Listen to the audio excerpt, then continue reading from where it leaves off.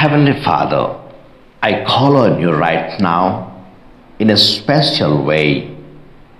It's through your power that I was created. Every breath I take, every morning I wake up, and every moment of every hour I live under your power. Father, I ask you now to touch me with that same power.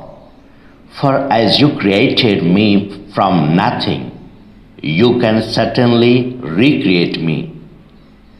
Fill me with the healing power of your spirit. Cast out anything that should not be in me. Mend what is broken. And root out any unproductive cells. Open the blocked arteries or veins and reveal all damaged areas.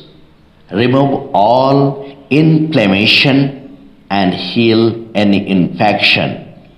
Let the warmth of your healing love pass through my body to make new the unhealthy areas so that my body will function the way you created to function.